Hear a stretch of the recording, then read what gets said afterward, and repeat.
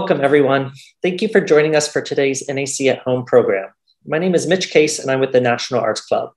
For those of you who are not familiar with the National Arts Club, we're a 501c3 nonprofit based in New York City with a mission to stimulate, foster, and promote public interest in the arts. Annually, the club offers more than 150 free programs, including exhibitions, theatrical and musical performances, lectures and readings, and much more. For more information about the National Arts Club, you can visit us at nationalartsclub.org or find us on Facebook, Instagram, Twitter, and YouTube. If you're interested in becoming a member of the club, you can reach us at admissions at thenationalartsclub.org to learn more. I'm now going to share a message from Michelle Kidwell Gilbert, chair of the club's archaeology committee.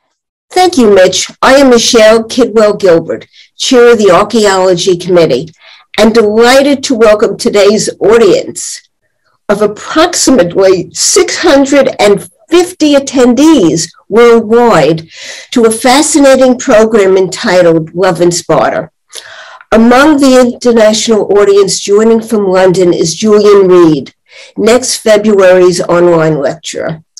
It is now my distinct pleasure to introduce Professor Paul Anthony Cartledge for this afternoon's special talk presented in collaboration with the St. Petersburg Celebration on the Arts, whose theme this year revolves around love. Dr. Cartledge spoke at the National Arts Club in 2010 about revisiting ancient Greece via Alexandria in Egypt, and two years later, the ancient Olympic Games. This is his second virtual lecture. In December of 2020, he discussed Thebes, Forgotten City of Ancient Greece, with that event viewable on the club's YouTube channel, whose link you'll find included in chat. Today's splendid discourse will subsequently be available online. A.G. Leventis Professor of Greek Culture Emeritus from Cambridge University, Commander of the Order of Honor awarded by the President of Greece, Global Distinguished Professor at New York University, funded by the Hellenic Parliament, Honorary Citizen of Modern Sparta. No one is more knowledgeable about the amatory practices of ancient Sparta. His initial volume, published in 1979, about this extraordinary city, Sparta and Laconia, a regional history has been followed by numerous books as well as countless articles related to this and analogous subjects. According to my notes, in 2012, that is 10 years ago, I first requested a lecture related to Sparta. Well, good things seldom happen quickly, and aren't we the fortunate ones to be hearing today's talk? It is now my pleasure to request that Professor Paul Anthony Cartledge address our audience. Paul, if you will. So let me start off with a few words of thanks. First of all, of course, obviously to dear Michelle. I hadn't realized this was going to be my fifth performance for you, but I'm absolutely delighted uh, that it is. Thanks, of course, to the National Arts Club as a whole and to especially its committee. Thanks to the St. Petersburg celebration of the arts. And that is all the framework within which this talk uh, is being given. I, am really honored to be a participant under that uh, very special aegis. I'm speaking to you from Cambridge, from South Cambridge, where it's just gone 6 p.m. in the evening. And not least, last but not least, thanks to my theatron, which is the ancient Greek term for audience. It also meant, of course, theatre, the physical space. But you are my theatron, and I'm told you're in the really high 600s, uh, perhaps of the order of 650, which is absolutely wonderful. Thank you. I'll try to do justice both to you and to the topic. So let me start with a little about my uh, title slide uh, and my title.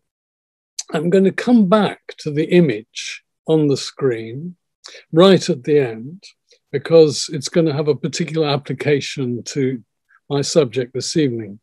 But I wanted to just say a little bit about love, a little bit about Sparta. I want to make uh, basically three preliminary points. First of all, I'm going to interpret love broadly.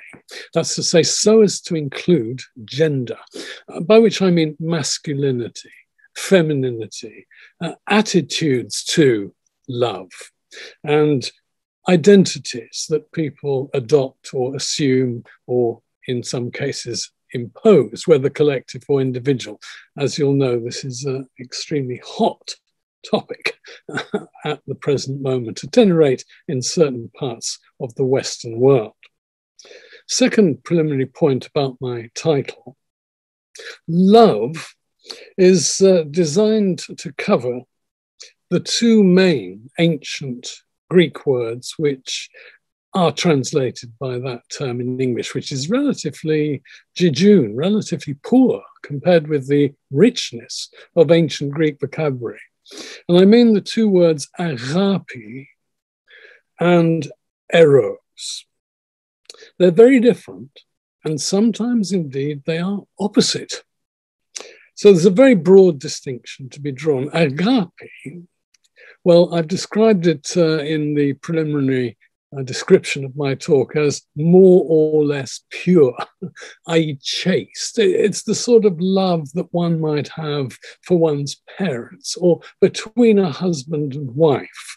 And it can also be extended to um, people that you consider within your circle, not physically, not legally related, at your close circle of friends, you feel love for them. And it's that usage which eventually, early Christian period, came to be the expression of the kind of love that early Christian people, of course, many ex Jewish to begin with, were supposed to feel towards each other. And they had agape feasts, even, which were a very different matter from the symposia of the classical, the early uh, Greeks, some of which uh, I'm going to be touching upon later.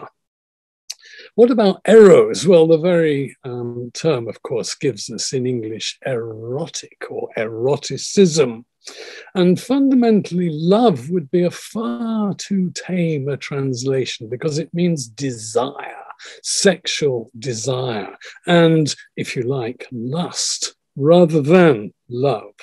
And that, of course, could be the very reverse of pure and sometimes um, quite painful, both individually, internally. You feel eros for some love object, that feeling not being satisfied, it pains you, or you feel such an eros for someone else, you act it out and you behave appallingly you rape or you in other ways sexually harass and in other ways behave just um, really without consideration for the other person. So eros, dangerous, agape, relatively quiet and sane.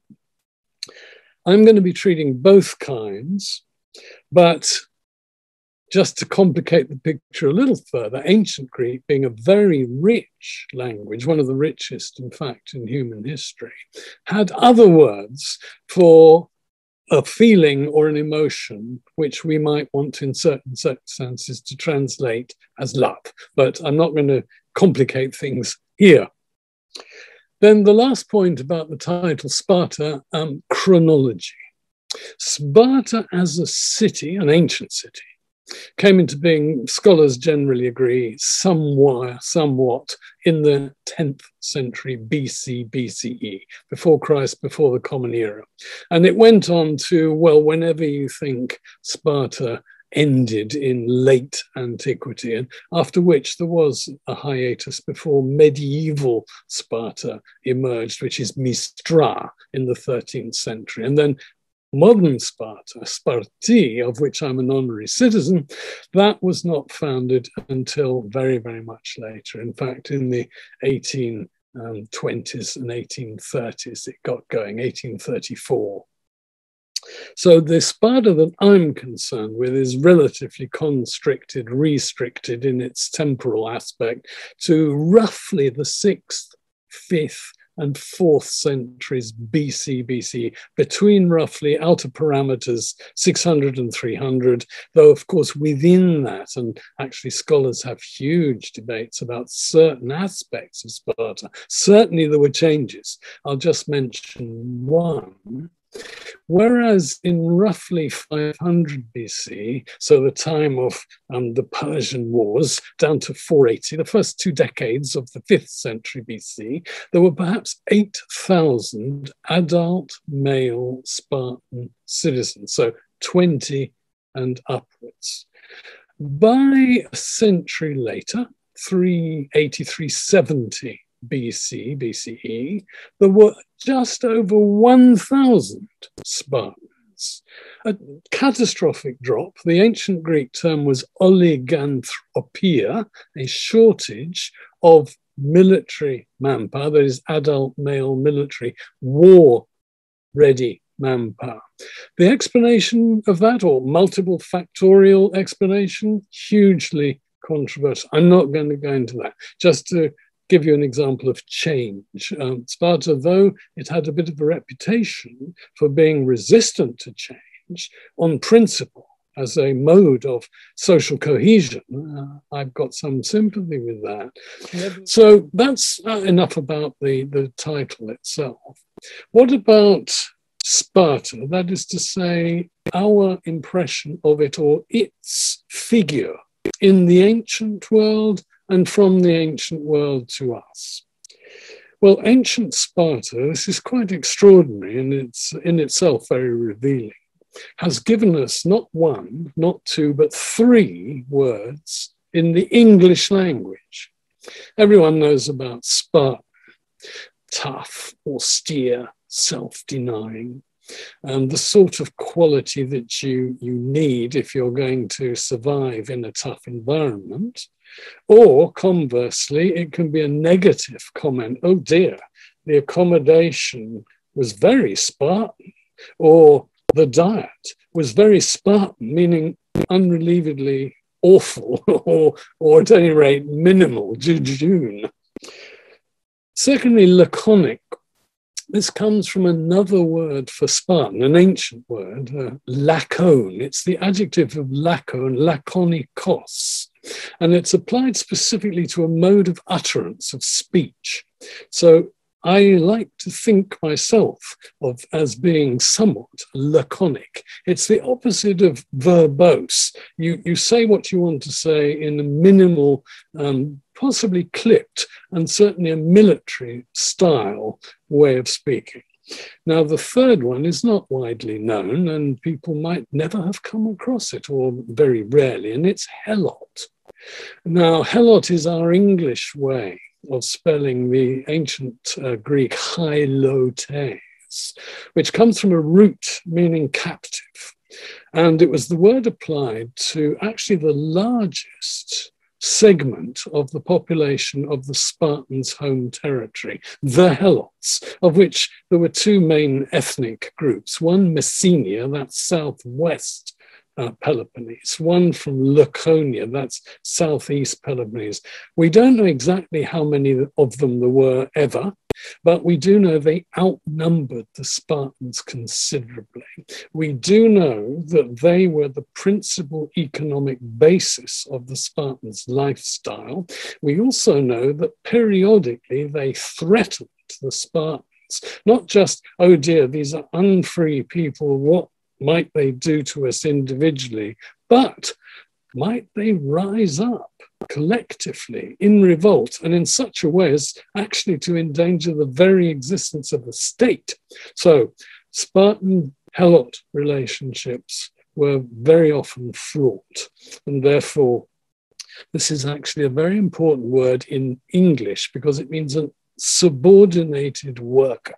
I'll give you one example. Black workers in South Africa before the uh, recent 1990s reform, so under apartheid, were referred to both positively and negatively, depending on which side you took, as helotic or helots.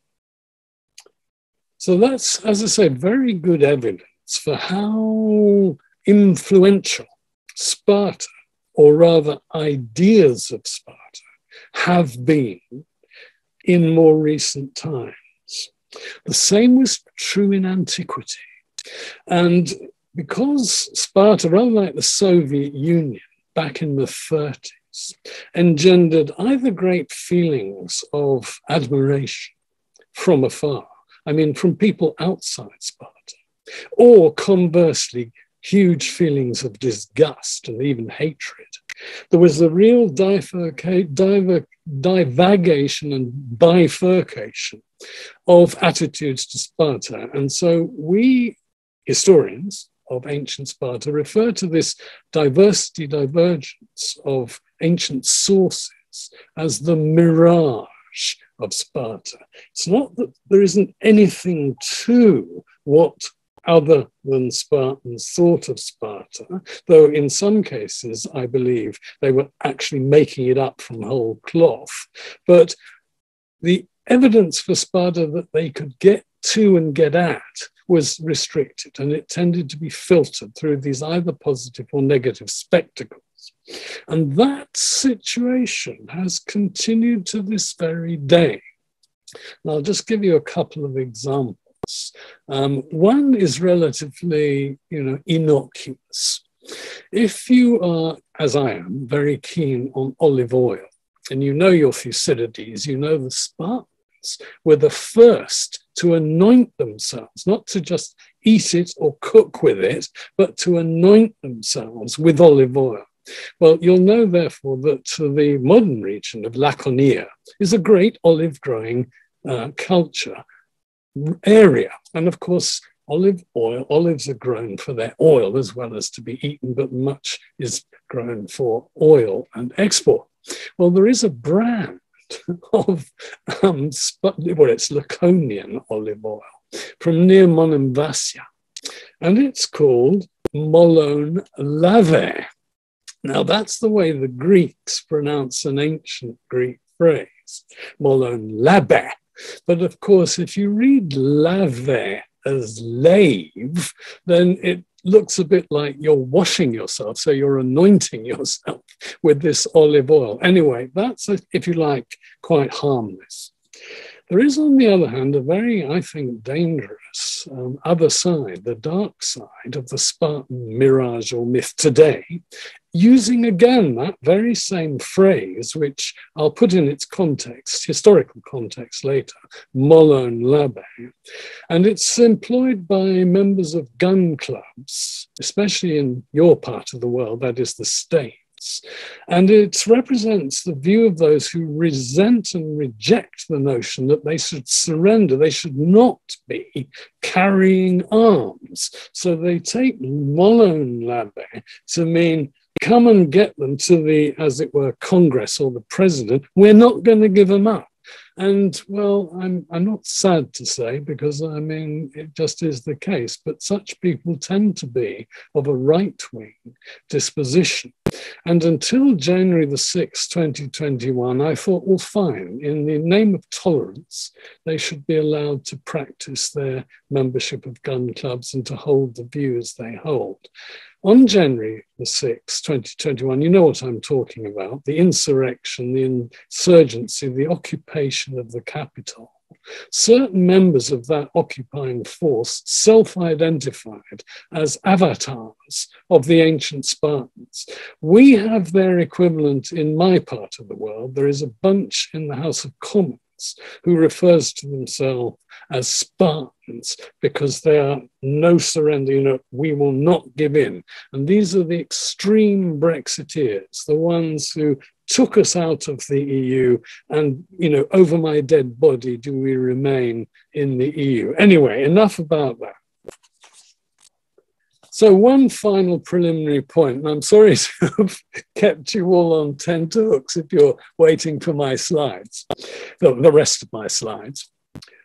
How odd, how peculiar, how sui generis was ancient Sparta? Now, I'm looking at love, sex, gender identity, but there are all sorts of other ways in which one could examine Sparta under that rubric oddity or normality. So, politics, uh, militarism, uh, economy, i.e., servitude, slave, and so on and so on. But I'm just looking at um, gender, sexuality, and sex, love uh, in this lecture. But just to say that this is one of those issues, this is one of those general issues that divides us, ancient scholars of Sparta. It's a moving target. Sparta is not a fixed uh, entity on which we moderns all agree. It's still a, a live, hot issue. Right. So let's situate uh, Sparta first broadly within the Aegean. You can see it down there in the southern, southeastern Peloponnese on the river Evrotas. Let's move a little closer in, and this shows you the political boundaries of the polis the citizen state, which in ancient Greek was called Lacedaemon. And so the people who live there, including the Spartans, are Lacedaemonioi. That's uh, yet another name. Spartans, interestingly, had three different names uh, for themselves Spartiati, Lacedaemonioi, and Lacones. And the olive oil I mentioned came from Monemvasia, which is down in the southeast in the Malea Peninsula. But the absolutely key fact about the Spartans' territory, apart from its huge extent, it was easily the biggest polis in the entirety of Hellas is the fact that it had two riverine valleys, one in Laconia, one in Messenia, exceptionally fertile for the growing of, uh, of course, we mentioned olives, but also wheat, barley, and the grapevine.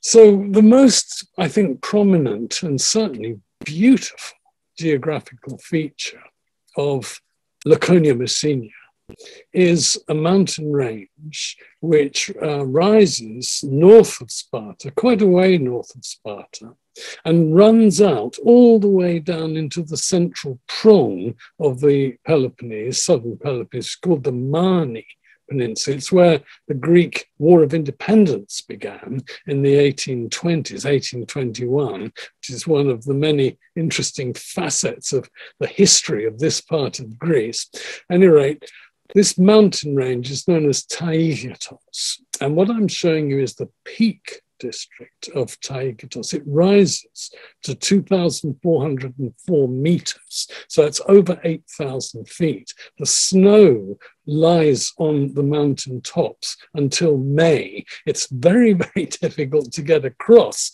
There are passes, but not for an army.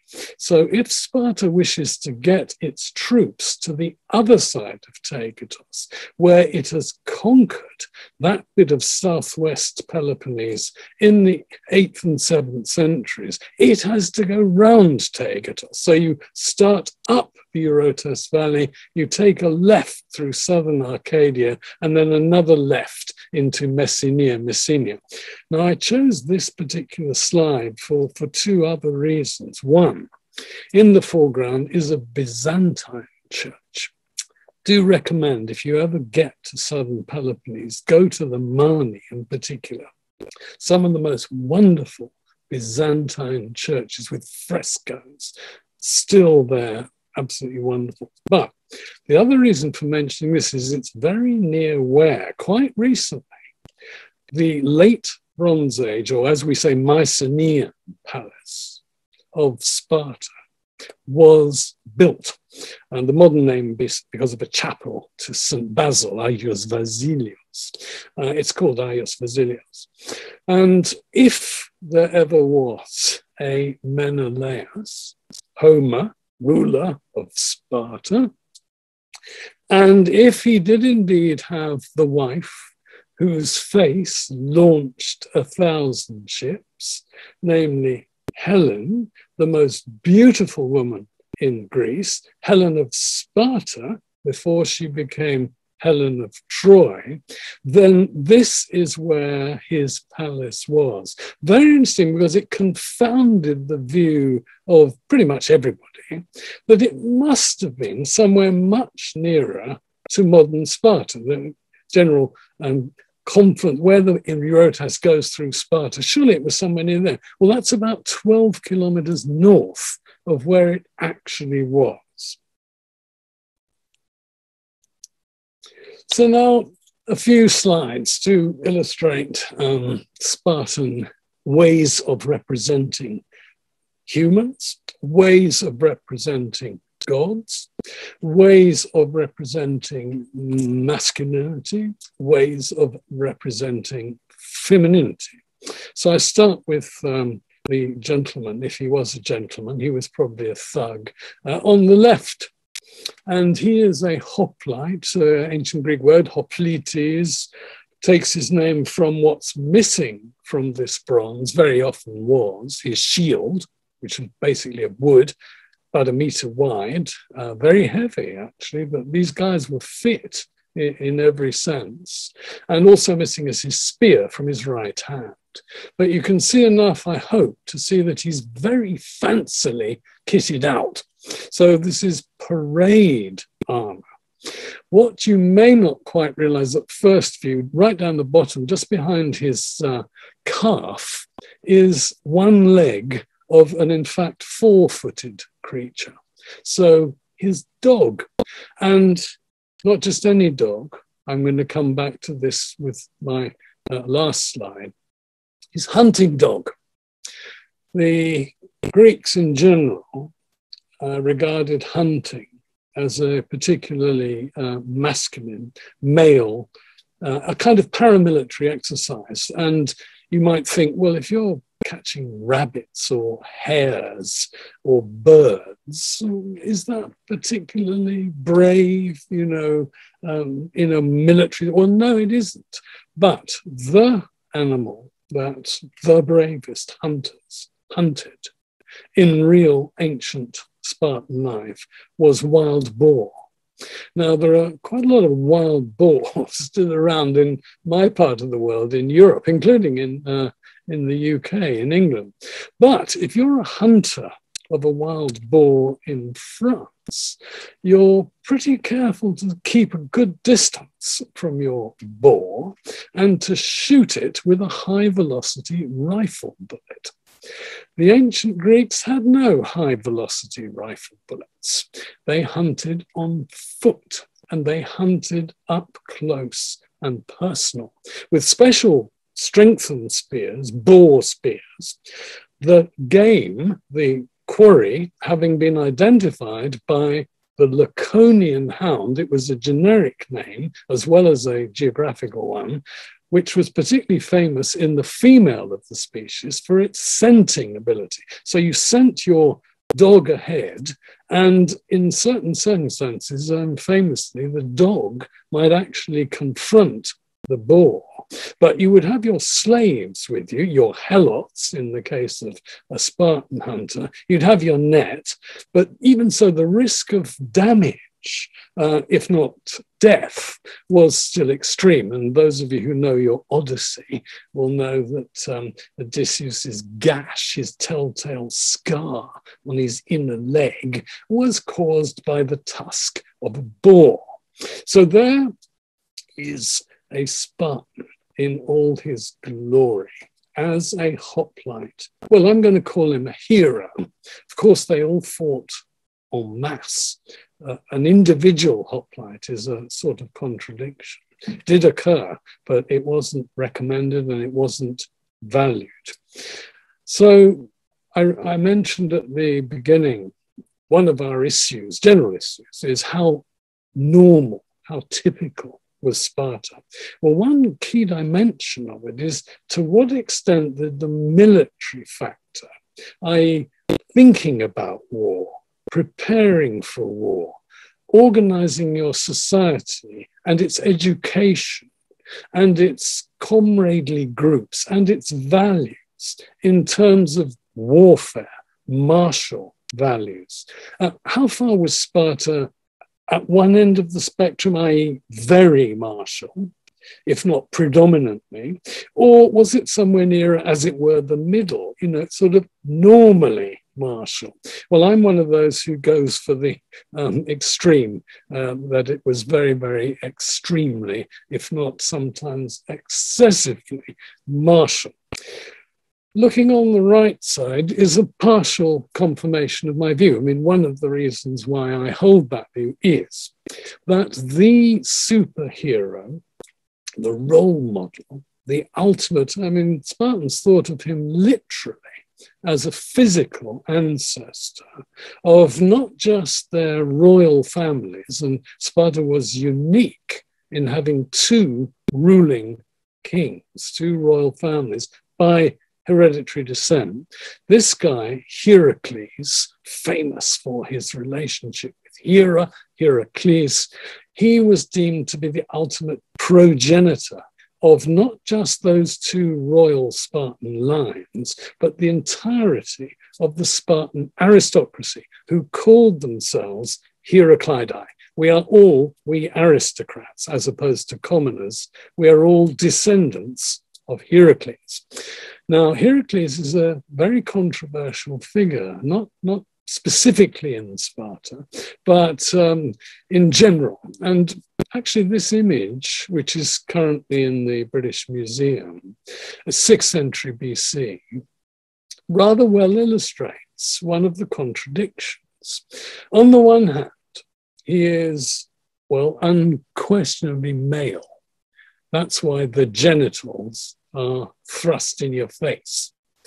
Secondly, he is unquestionably wearing a hoplite breastplate in ancient Greek thorax and a hoplite helmet uh, in ancient Greek kunei or kranos.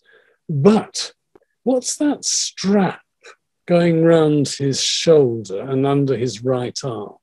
What's that lion skin doing round his waist?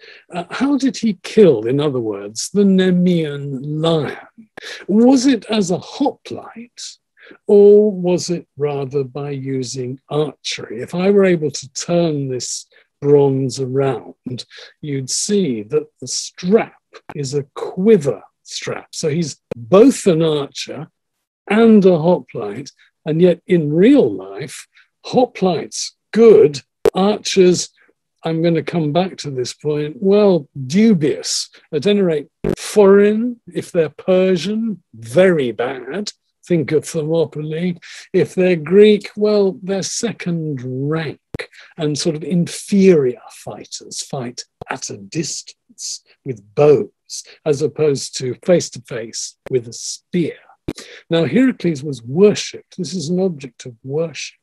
So he represents masculinity, he represents two kinds of fighting, but he also liked not just um, boys, which he did, he had a particular boyfriend, I'm coming back to that, but also women whom he treated. Well, you remember what I said about Eros in its negative sense, what it might encourage or incite you to do to females if you're a red blooded male and not very considerate. Heracles was ultra masculinist in that respect, for which some would have admired him, but if you were a woman, you might have thought slightly differently.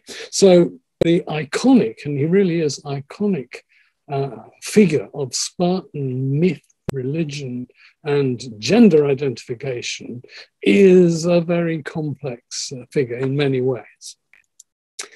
So we've talked about the boys. What about the girls? I'll skate over uh, the question which is um, implicit in the title I've given to this slide, dancing slash running because I could have put a question mark after it. She's about the same period, second half of the sixth century. She comes actually from Albania, southern Albania, place called Prizren, and she's now, like the Heracles, the Hercules, in the British Museum. Well, one interpretation of her is that she's running. I actually think she's more likely to be dancing, but that's a, a complicated discussion. But I'm more interested in the way in which she is depicted in terms of her vestments, her clothing. That's to say, one of her breasts, which is developed, she's not prepubescent, she's at least pubescent, possibly a young woman, late teens, in other words, uh, is very prominent. Whereas, now I'm sure you know, it's a convention of Greek art that is generically Greek, all Greek, as opposed to any specific place, not to represent the female figure, whether divine or human, unclothed.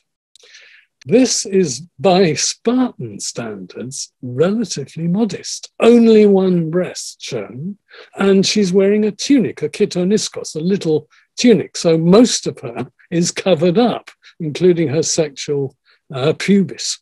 But those of you who've got Michelle's email, an earlier email will know, there are mirror handles made in Sparta of this period, second half of the sixth century. One of them's in your Met Museum in New York, representing totally naked females in a totally positive way. Whereas, go to Athens, Yes, you will see on a red figure cup used in the symposium, the boozing party, where the entertainment was provided for the men who were the hosts by slave, typically, entertainers and uh, women who would be at a certain point uncovered, unclothed. So they are depicted naked on these vases. That's how it was.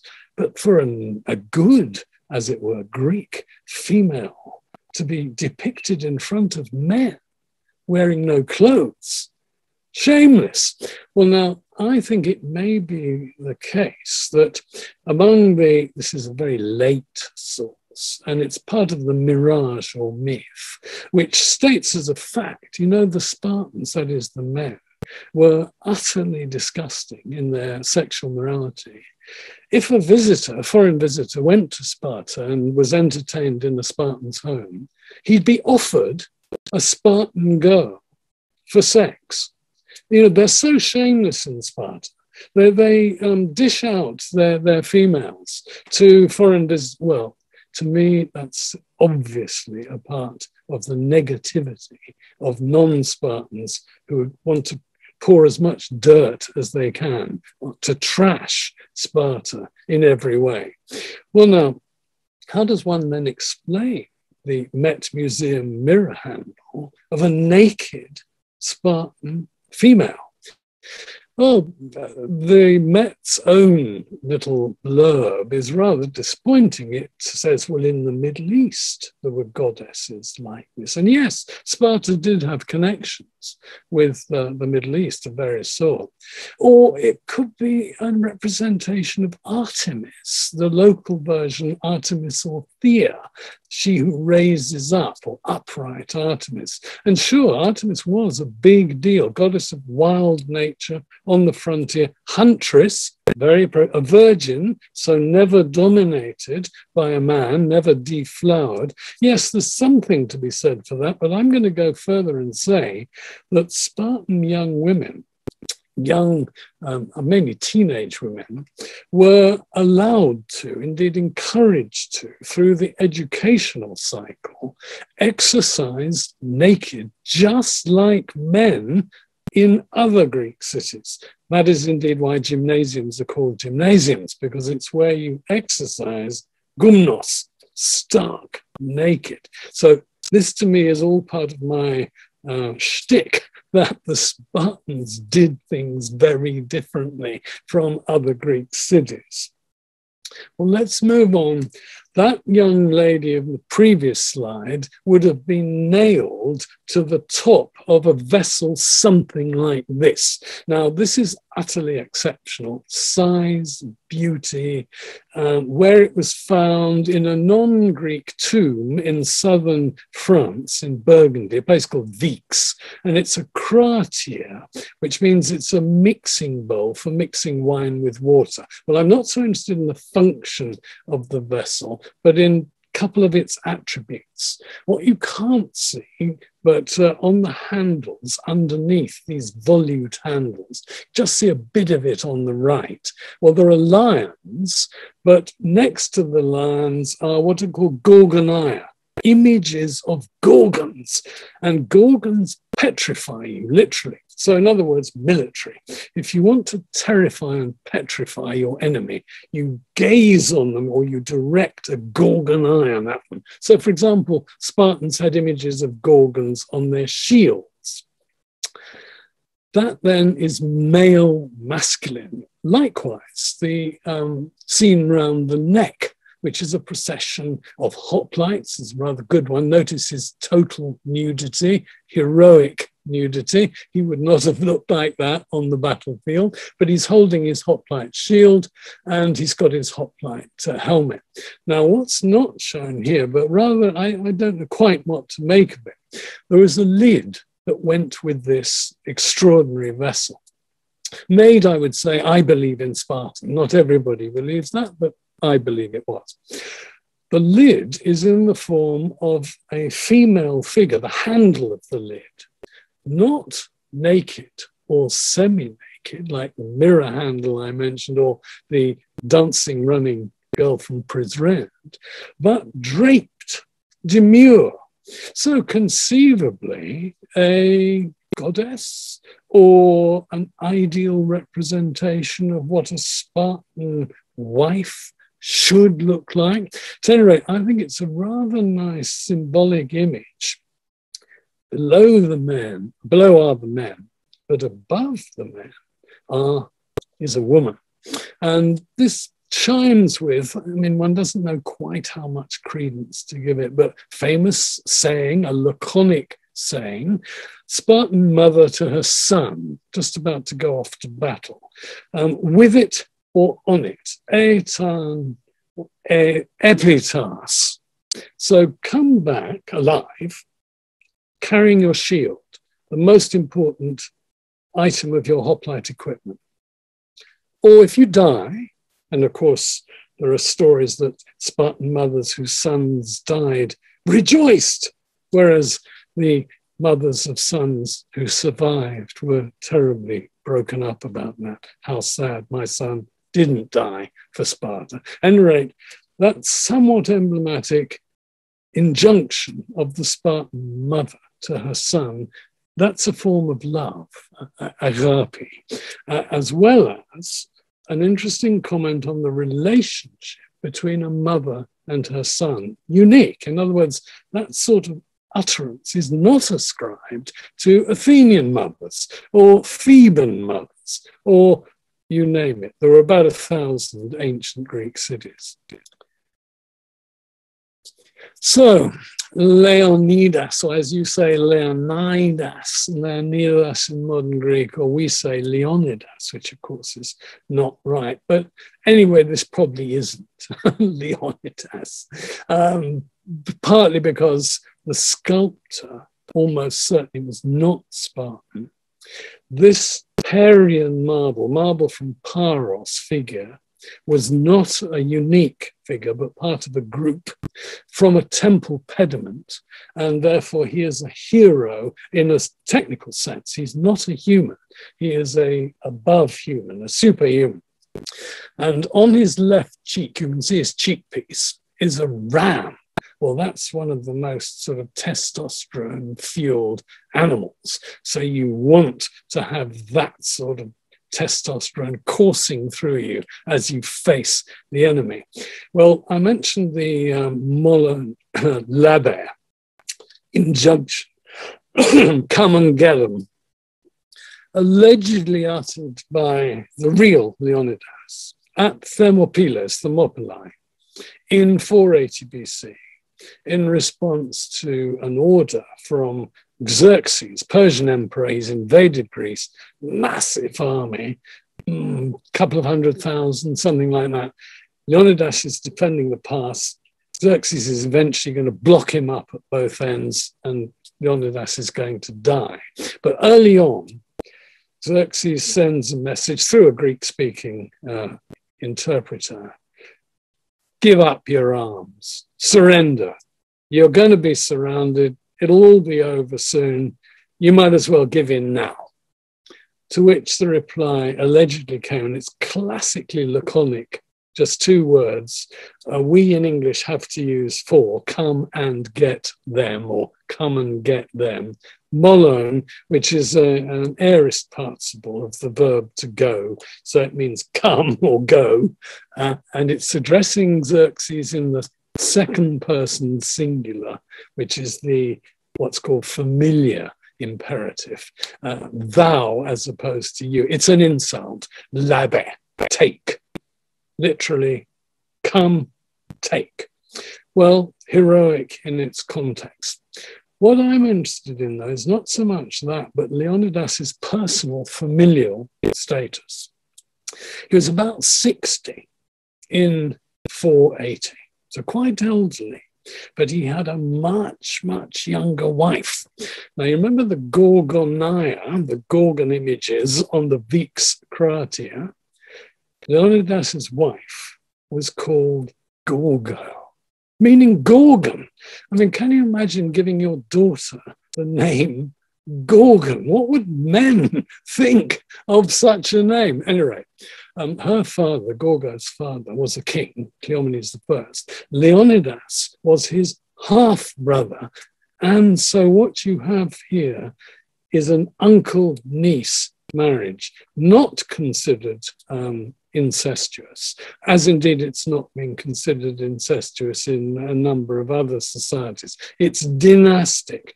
But notice the gulf in age. Uh, was born about 508 BC.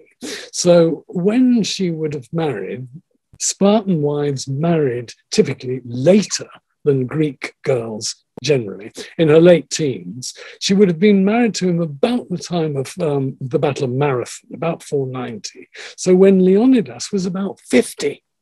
Well, now, that's a quite a significant age gap of 30 years. And one hopes that there was Eros as well as Agape between them. At any rate, they produced a son.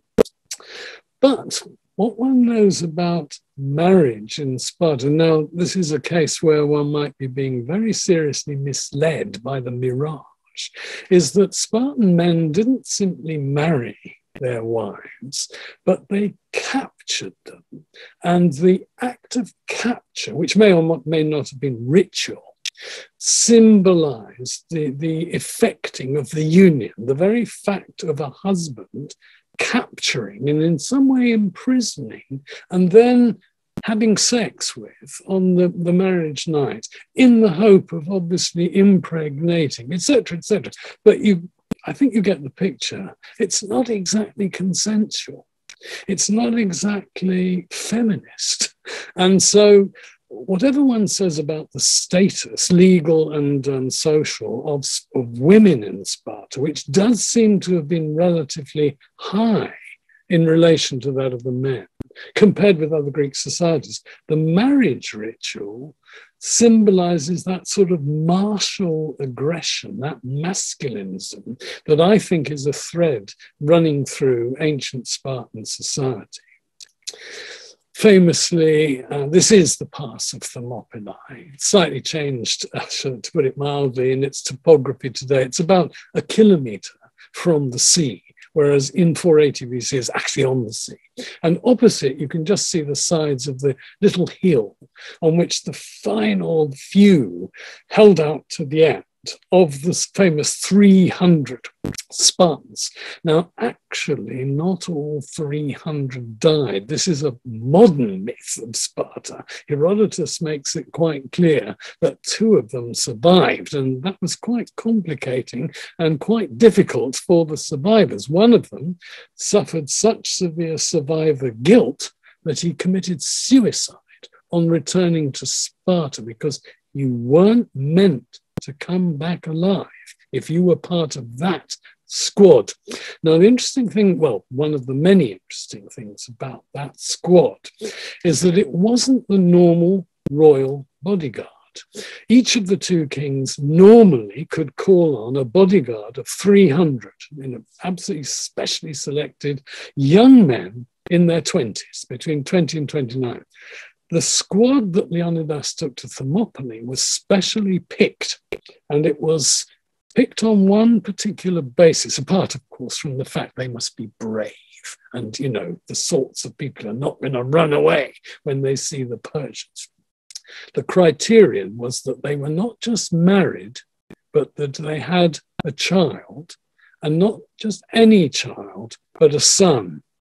And the point of that, well, it seems to me obvious, it doesn't seem obvious to everybody, is that you are going to die but you've left behind you a son who will revere you, your memory, will carry on your line physically, and eventually replace you as a member of the full Spartan army.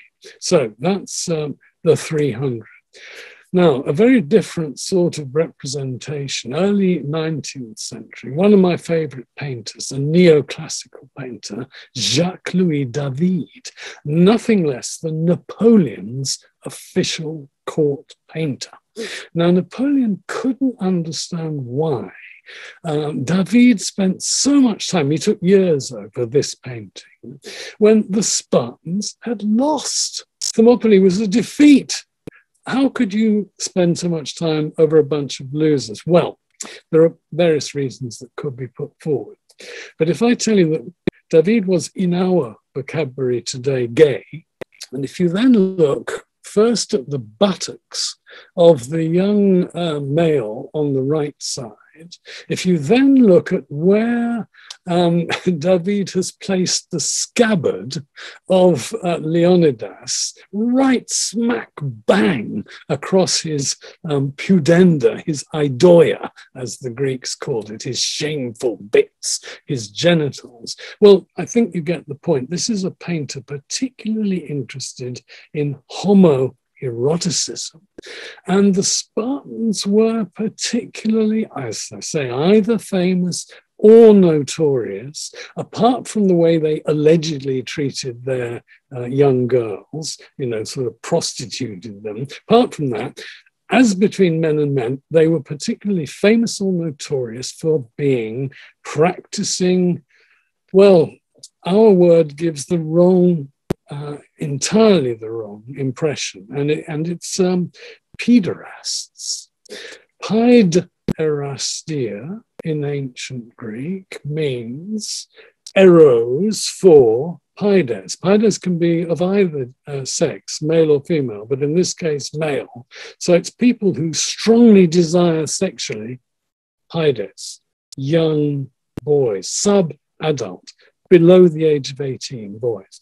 Well, I'm of the view, I'm probably um, not um, widely followed, but some follow me, in believing that this was a part of the Spartan education.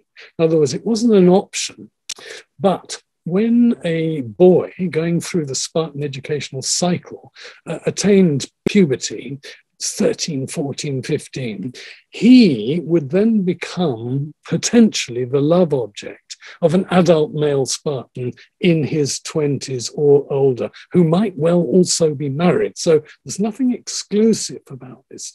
They're not homosexuals in an exclusive identity choice or sexual preference sense.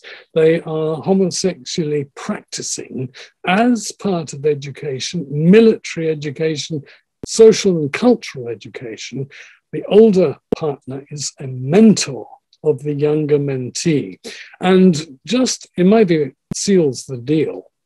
Spartans developed a unique vocabulary for this pairing relationship, such that the elder member of the pair was called the eispnelas, he who breathes in something, inspires would be a literal Latin based translation. And people have argued does that mean inject semen, well, possibly, or is it more uh, ethereal, less corporeal, and it means inspire in a moral, uh, cultural sense. And the younger one is called the hera, aitas, Well, I think that's particularly revealing of the fact that so embedded was the cultural institution of paiderastia that it acquired, it generated its own local vocabulary. Enough of David, quickly moving on, and just an illustration of the hoplite shield. This happens to be one that a Lacedaemonian was holding uh, on the uh, at the Battle of Pylos uh, in 425 BCE during the Peloponnesian War, actually on the island of Sphacteria, just off the Messenian coast. It was uh, found in the uh, Athenian Agora, which uh, Alex Zagores and I were talking about. Uh, the American school is located, uh, its dig house is located in the Athenian Agora, where this was found in the 1930s, because 292 Lacedaemonians were captured on the island of Sphacteria. They surrendered very unspartan, very unmasculine, uh, and taken and held prisoner, or rather hostage, in uh, Athens, in a public prison. And there's a story in Thucydides, it's um, book four, chapter 40, if you want to follow it up, where an ally of the Athenians, i.e., not an Athenian, but somebody who's on the Athenian side, goes up to this pen where these prisoners are being held and jeeringly says, hey, uh, you clearly, you guys are not real Spartans, or you'd never have surrendered.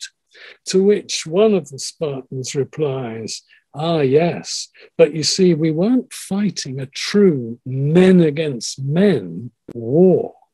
What did for us, and the Spartans then used a local dialect word meaning arrows, which literally meant spindles and spindles were uniquely feminine.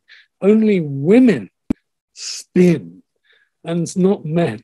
And of course, in Sparta, uh, the women, the Spartan women, didn't uh, spin either because they had helots to do it for them. But anyway, the point was we are men. We were not fighting against men. It wasn't a, an equal fight and therefore that's why we are imprisoned here. Rather interesting illustration of Spartan masculinism, at least in public. Well, now, another um, female of the species, a very, very famous one, you might have come across her before now. I'm nearly at the end and apologize for having been less than laconic with you this evening. Kings of Sparta. Well, I've mentioned that there are two royal houses in Sparta, and this royal house is the royal house of the Eurypontids, the Evrypontidae. Kings of Sparta are, and then she says, my father, and that was Archidamos II, and my brothers, one of whom was a half brother, Agis II, one of whom was a full brother, Agesilaus, Agesilaus II, and her name, Kyniska. Well, if you thought Gorgo was a funny name for an elite Spartan woman, try this one. It means little dog, puppy, or little bitch. Um, obviously related to the fact that hunting with hounds, Spartan hounds, was an elite activity, and especially in the case of boar hunting. She goes on, victorious. What she means is she has owned and raised and paid for people to train and exercise a bunch of horses who are race horses who are going to compete in the four horse chariot race at the prime games. It's the prime equestrian event at the prime athletic and gymnastic games, Olympia, every four years.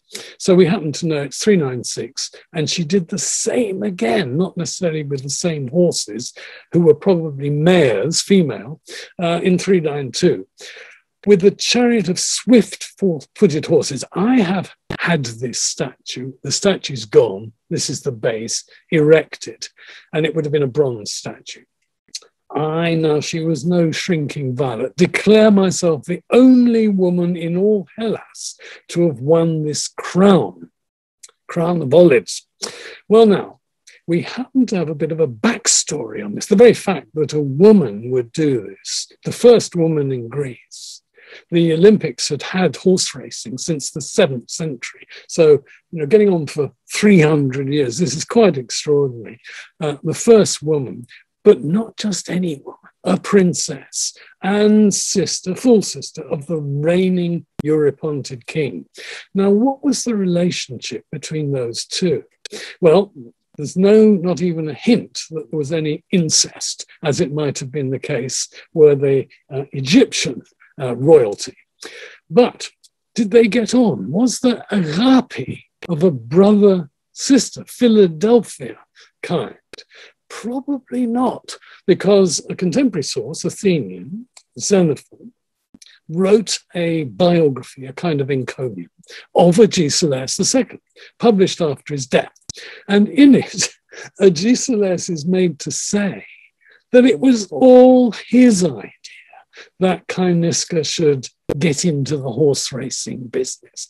And after her huge success, unprecedented, he has to diss her. He's got to sort of play it down. Well, you know, the best kind of horses are war horses because that's when men ride them and they go to war on them. Race horses. Well, if even a woman can win an Olympic victory with race horses, enough said about the relative value of race horses and war horses. Anyway, so I'm now going to take you right back. This is my conclusion This is what's called a kylix. I'm, I'm inviting you to look into the tondo of a second half of the 6th century BC kylix, found not in Sparta but exported because the Spartan production of these cups was very widely distributed to North Africa, to um, Italy, especially the Etruscan area, non Greek central uh, Italy, as far east as Samos, the island of Samos, and so on.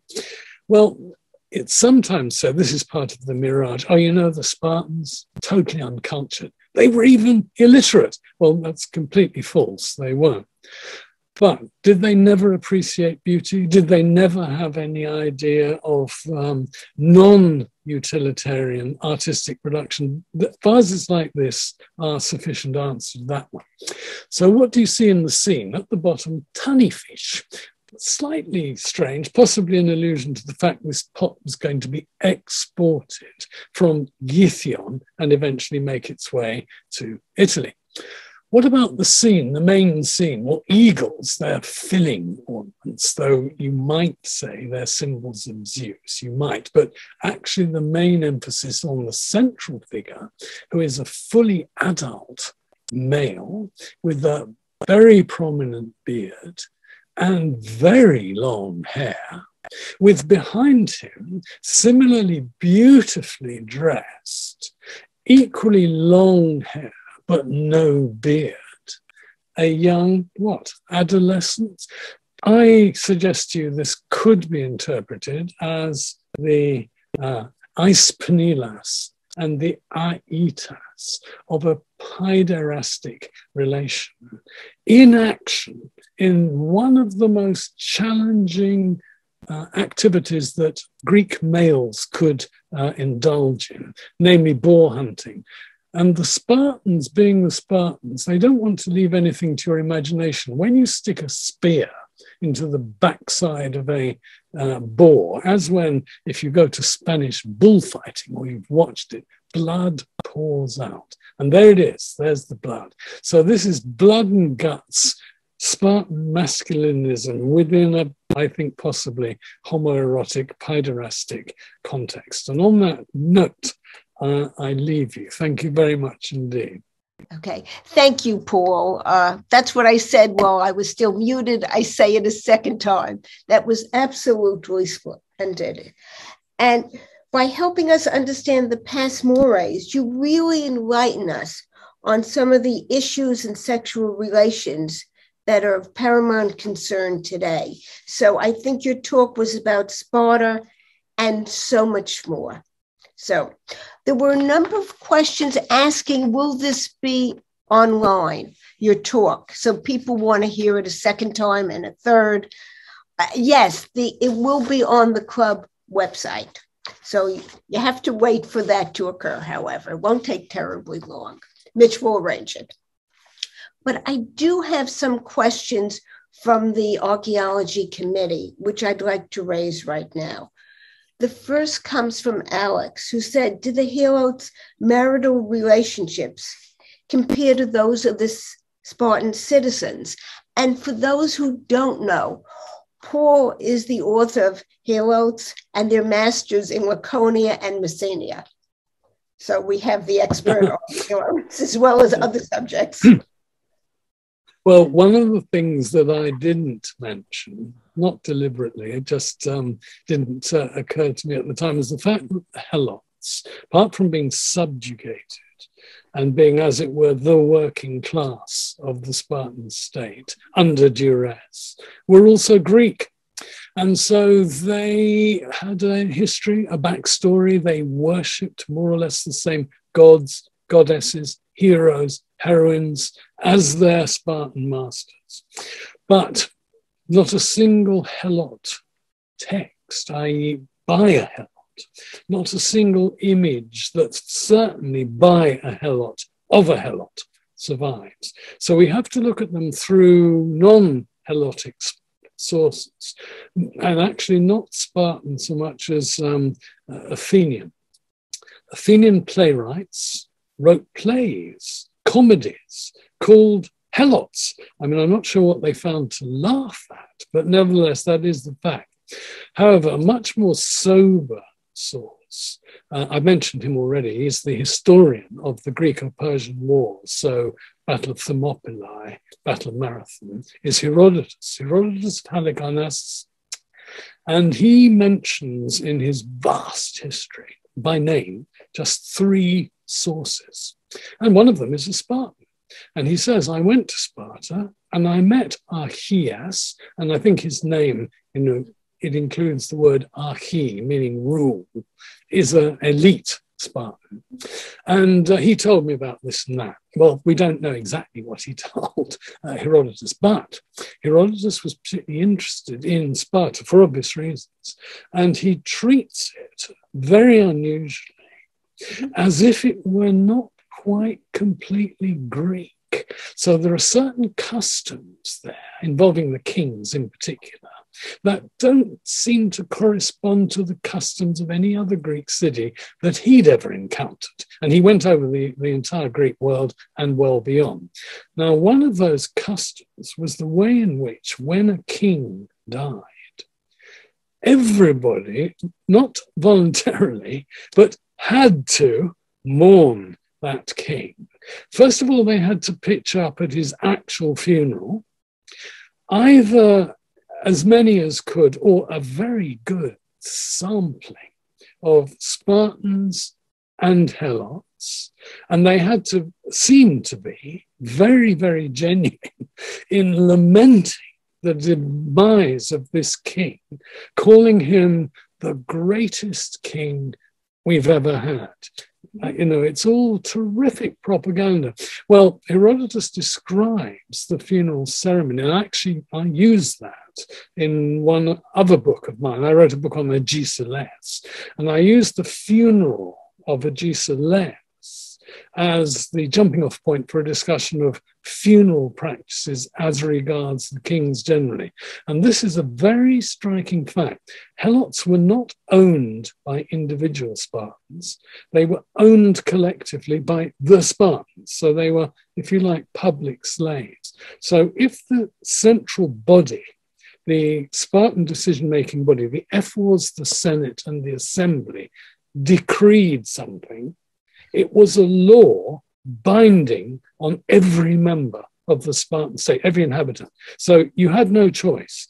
When a Spartan king died, messengers were sent round, and the Spartan state is huge 8,000 square uh, meters or 3,000 square miles, uh, square kilometers, sorry, 3,000 square miles. So you've got to allow a few days before they get all round the Spartan state and then back to Sparta. Anyway, I hope that answers the question. Yes, but it raises another question from me, and I was trying not to ask my own questions. Um, we had a wonderful program about Hadrian's Villa, and there was slave quarters. If slaves, the Helots, are owned by the Sparta itself, were there special residences where they lived? Yeah, big discussion. Um, as I've tried to indicate, there are a number of issues on which we moderns take mm-hmm. diametrically opposite views. And mm-hmm. uh, the one uh, in this case is did the Helots live in villages or reservations, plantations? Yeah. And the general view is, that, yeah, the general view is that they lived in villages. And so they lived like ordinary free peasant Greeks. And they would go out from their villages to the fields. So the villages would be dotted along the riverine valleys, along the side of them, and they would go out daily, come back in the evening. And one thing, just to add to what I said before, Helots had husbands and wives. I mean, Herodotus uses the word as if they were free Greeks.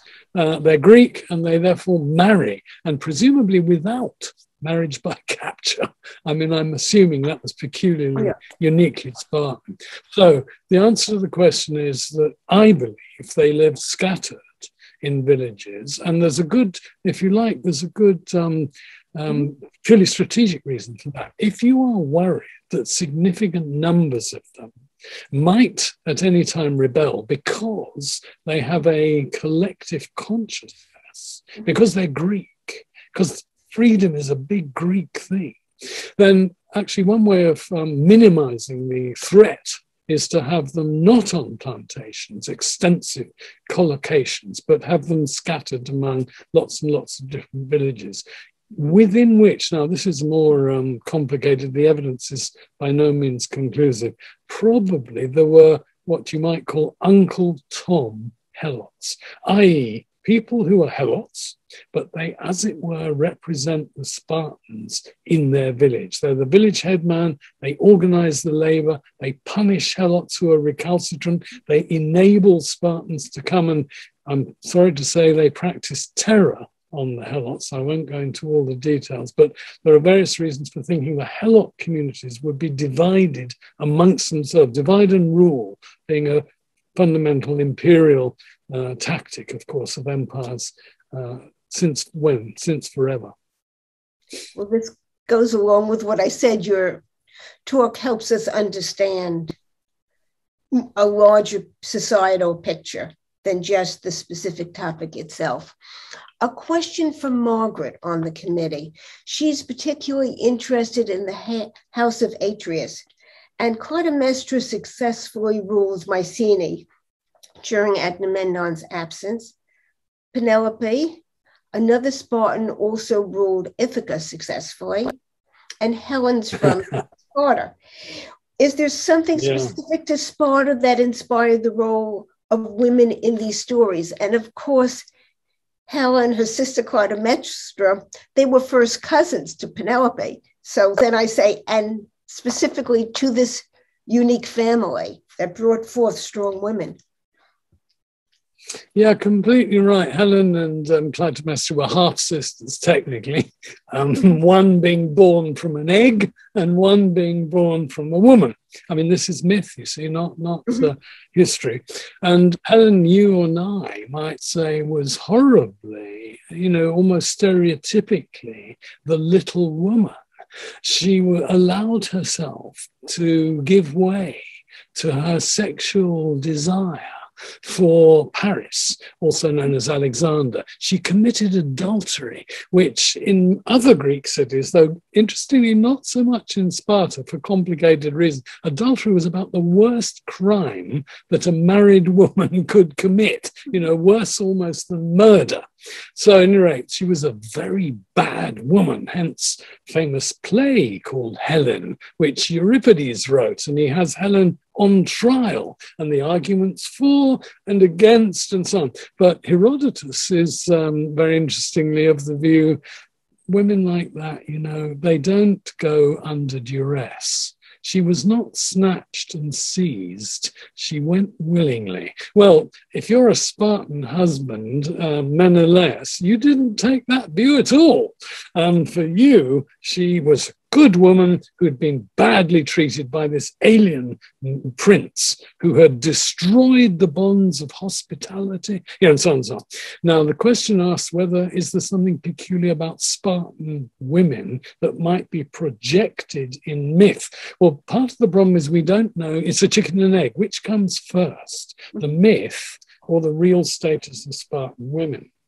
Well, Helen's much more interesting actually than Clytemnestra in this regard, that she is thought to be a combination of, yes, if there was a Bronze Age uh, queen of Menelaus, then that's a human, wholly human, Helen. But there's another Helen who's a goddess, and this pitches up, it's in Herodotus. And she has a shrine, as I'm sure people know, not far from Sparta, a place called Therapne, though the shrine is named after her husband. It's the Menelaion, but it should actually have been Menelaus and Helen Eon. At any rate, in that guise, Helen is a, probably a fertility goddess, certainly a goddess of nature, fertility, increase, sexuality, you know, sort of a um, like Aphrodite in a minor key. Which reminds me, by the way, I didn't make the point. All gods and goddesses in Sparta, when there was a public image of them, the image showed them naked. So Aphrodite, okay, mm. that's quite it. Artemis, Athena, naked. Pretty weird if you believe the source. At any rate, what about Clytemnestra? Well, of course, uh, Agamemnon had to woo and win her. So, in some sense, it's an arranged marriage. And why would he come to Sparta? Well, that's where his brother is married to Clytemnestra's half sister. So there's a sort of dynastic, and there may be a real historical basis. In other words, the most powerful king of late Bronze Age Greece wishes to extend his power through a diplomatic marriage. And so you marry somebody from the royal family of Sparta. Yeah, it makes sense. Now, um, of course, what one makes of Clytemnestra is anybody's guess. Uh, in Homer, she's a bad woman because while Agamemnon's away, she takes a lover. And she takes a lover from a rival family that has a hereditary enmity with the Atreids. So, therefore, if you want to pick someone to have a sexual relationship with, and you want really to irritate your marital relations in Mycenae, then you have sex, you take as a lover somebody like Aegisthus. It's a bit like if you're, um, shall we say, Jewish and you take a, a Muslim boyfriend. That's as oh my God, no, anything but that. And so Clytemnestra was therefore either brave or shameless. Take your pick. In Homer, who kills Agamemnon when he returns in the bath? Does anybody know that? Well, you, your guess is uh, the right one. It's Aegisthus, because that's what men do. It's the lover who kills the husband. Go to um, Aeschylus. You, at the very first play, the Agamemnon. Here is Clytemnestra, and she is man. Well, the, the Greek word means literally something like has a manly counsel. She thinks like, she behaves like a man. And it's she who kills Agamemnon in the bath with an axe. Mm-hmm. Not the sort of thing a nice woman should do. So, you know, it's possible since Sparta and Athens were always at each other's throats. Almost always. In 458, they were actually fighting each other in battle. So to make a Spartan woman look bad on the Athenian stage, there you go. Very okay. Yeah, absolutely. And more than I asked, and I think it's a fuller understanding that you gave us from Jody on the committee, um, who sent me a lot of questions, but I'm going to ask one. Did the Spartans feel that homosexual relations actually strengthened fighting skills and morale? as opposed to the modern armies, which have either banned homosexuals from military service or, like the US military, only allowed it reluctantly after years of litigation. And he asked also Did Spartans ever allow women to fight in the military, units designed just for women? Right. So, as opposed first to point is about our, confused. First point is about our modern Western reception yeah. of homosexuality in mm-hmm. moral terms, and it's in particular religion and mm-hmm. law. The mm-hmm. Judeo Christian tradition is virulently hostile. So, if you're going to be what we now call a gay, a homosexual, in such a culture, you're going to be counter-cultural. And in the 19th century, which is when things started to open up, what Oscar Wilde called the love that dare not speak its name was cultivated among, was practiced by elite intellectual um, males who were not military, not imperialist. Everything they stood for was counter to the dominant masculinist imperialist, especially I'm thinking, of course, of Britain, British imperialist tradition. And then, secondly, it goes with it um, very nasty words used to denigrate homosexual males pansy, fairy, are ways of saying unwarlike. If you are gay, by definition, you are not suited. We don't want you in the military. There's a radical opposition. Now, the ancients were the exact opposite. To be a real man is to have sex not only with women, but also with boys. To be a real man in Sparta is to imbibe a culture where such behavior is the behavior of Heracles, the uber masculine martial man. Now, of course, they fought collectively. I mean, it's very important that one emphasizes that militarism in a Greek polis was not a matter, as it was in Homer, of individual prowess, heroic excellence but collectivity. So, any practice, any behavioral practice that reinforced bonds of solidarity of a collective nature would mm-hmm. conduce to fighting better. If I'm right, pederasty was actually embedded as a requirement in the Spartan educational system with a moral, not just physical, implication and overtone. So that's the answer to that question. The second question were women, were there any, as it were, like in Dahomey?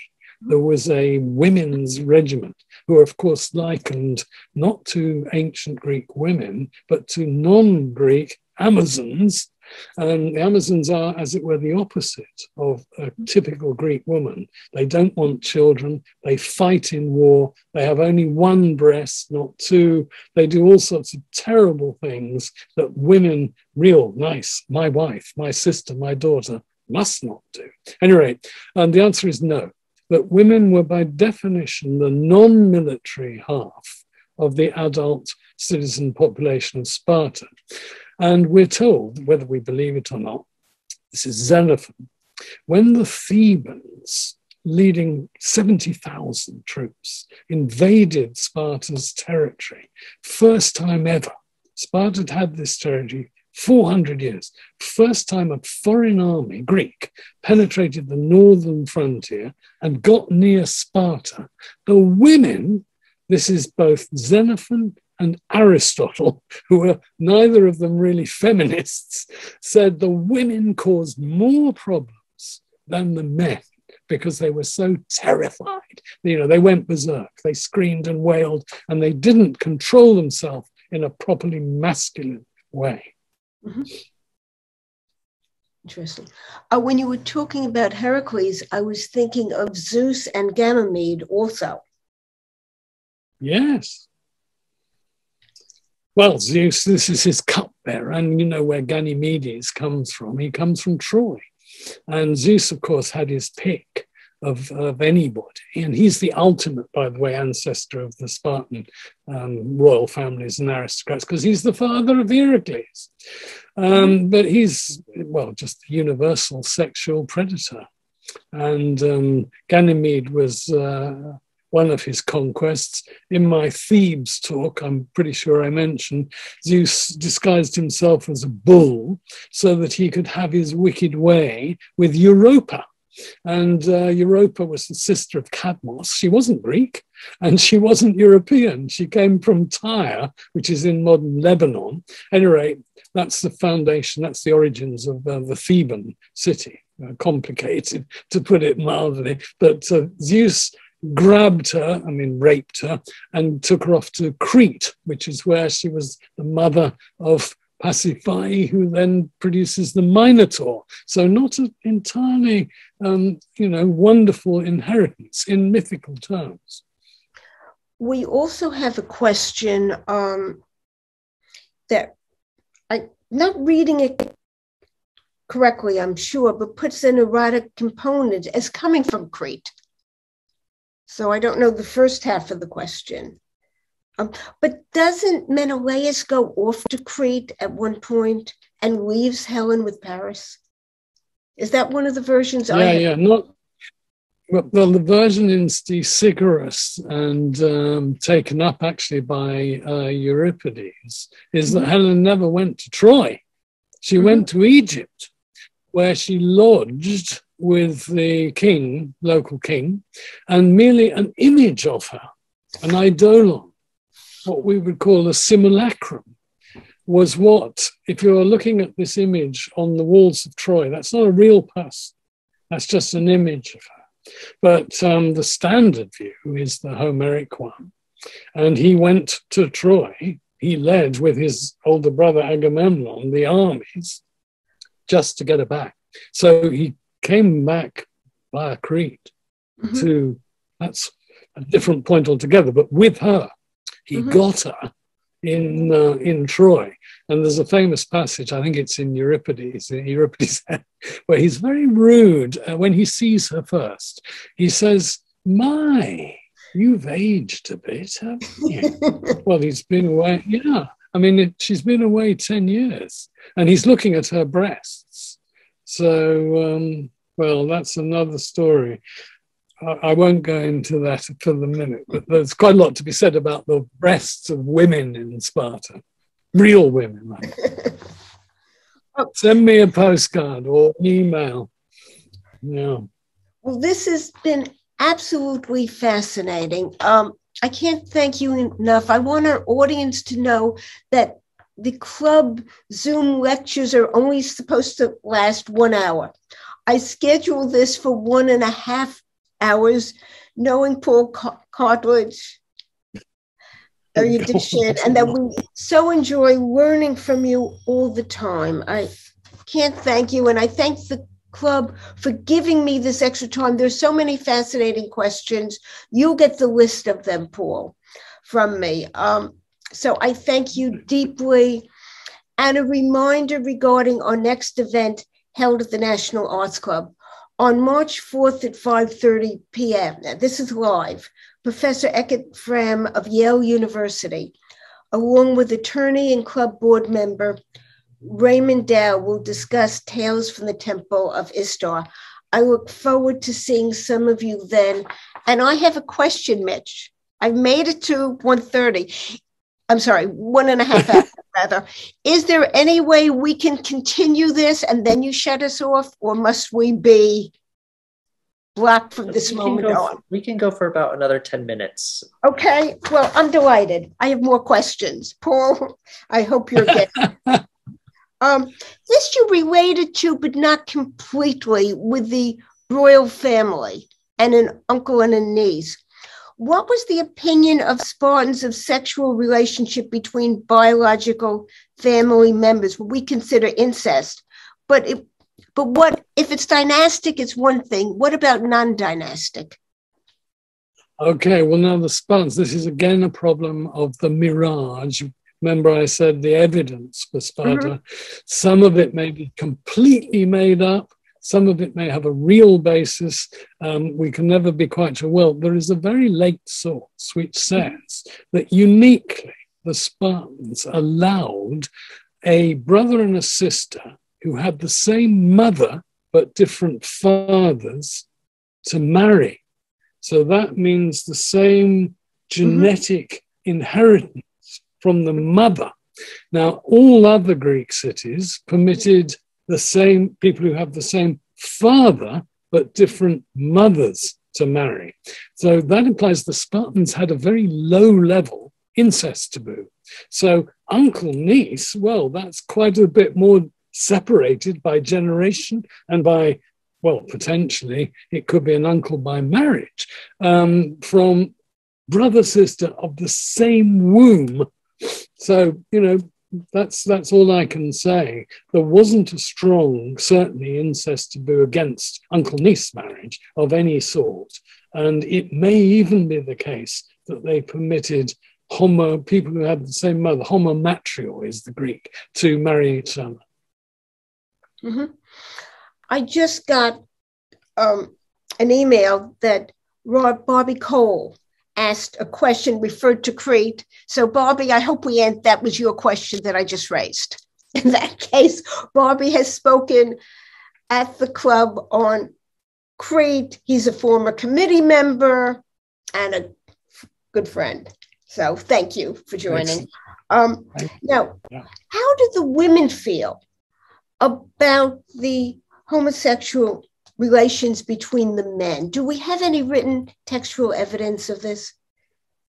Um, as I say, I mean, this is true of all Greek cities, not just Sparta. Sparta's mm-hmm. evidence is skewed, but it's not skewed differentially in the fact that women have left virtually no testimony for themselves. The only testimony that they've left is what are called dedications. So a female name dedicates this, and it might be um, an item of clothing to Artemis or to Athena. But that doesn't tell you anything about, as you say, their mentality, their mm. outlook on um, the way in which sexual relations uh, across society were managed. But uh, this is where one gets into the issue of how far were women able to develop any independent, let alone collective consciousness, i.e., of themselves as women as opposed to men.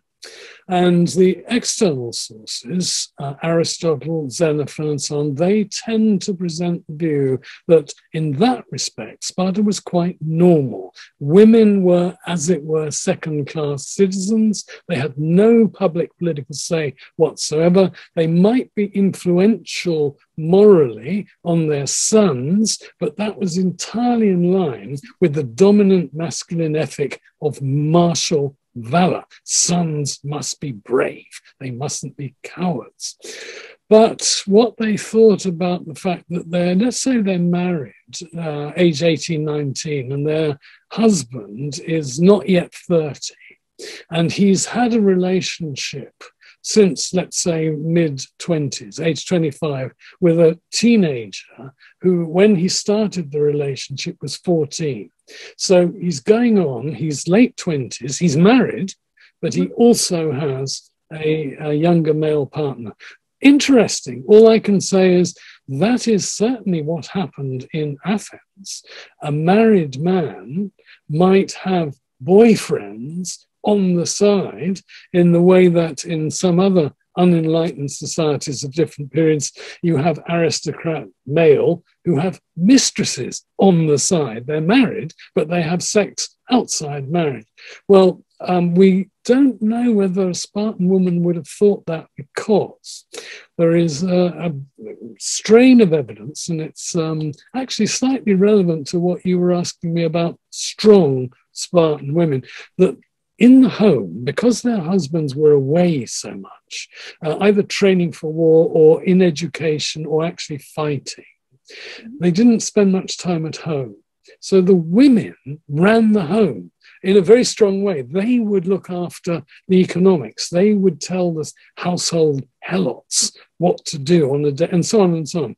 And it's thought that that would compensate them for any feeling of loss in the fact that their husbands were away, that they were not given any public political um, position whatsoever. There were priestesses in Sparta, so females, that's uni- not unique to Sparta. There were priestesses in every Greek city, and they had to be women and they had to be citizens. But um, that's all I can say that the Spartan women might have felt, well, I've got untold labor at my disposal. I've got control of my household. I'm not going to be so fussed by what my husband does outside the home. Mm-hmm. Interesting. I don't know if we can use the word bisexual for the men as we sometimes use today, but as I was researching for your talk, I came across what I hadn't known previously, and that was that there was lesbianism also in Sparta and female poetesses who wrote about it. And that I found fascinating. Right. We also spoke about the education right. afforded to women. Well, I was going to say the poetesses are not so extraordinary because um, obviously everybody's heard of Sappho and Praxilla and Nossis. And, you know, there are a number of Greek, well known um, women, Anyte, blah, blah, blah. But it's just, I must emphasize one passage, one mention in a biography by Plutarch of the supposed founder, the legislator who laid down the moral, economic, the political code, the military for all Spartan life. And this is Lycurgus. In the life of Lycurgus, he says elite women, not just any Spartan women, mm-hmm. also, like, in other words, he's been talking about the males also form sexual mentoring relationships with young girls. That's just the one reference. So it's, as it were, an equivalent of mm-hmm. the, without the martial, the military dimension of the male, and part of the education. And not implausible, not utterly implausible, but unique. That's the only reference. Very interesting. As I said, I knew about Sappho. I did not know about anything connected with Sparta, and I did read the whole chapter. And so that you know, I uh, took part of it and I sent it on to the archaeology committee, so they knew about Lycurgus also. So it, this has been Excellent. absolutely wonderful, and we could continue and continue. I thank for the club's indulgence. I thank you, Paul, for making this very special lecture for the club, the celebration of the arts possible. It's one I'm going to listen to repeatedly, I know, and gain. And we'll plan your next club event. thank, thank you, you, both you personally, and thank everybody else who took the time to listen and those who will listen in future. Thank you all so much.